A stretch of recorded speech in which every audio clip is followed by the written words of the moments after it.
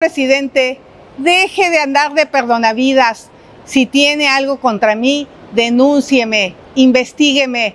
Lo único que se va a encontrar es que soy una mujer honesta, trabajadora y valiente.